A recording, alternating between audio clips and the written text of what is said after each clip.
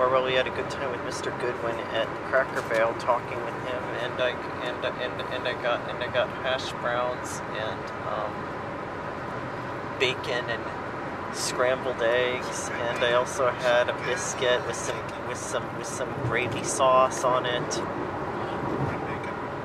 This is just like when we went to South Carolina was much, much, much younger, or the Millers. Mom, did you hear that? Mom, Dad, did you hear that? Did hear part of that. Do you remember that?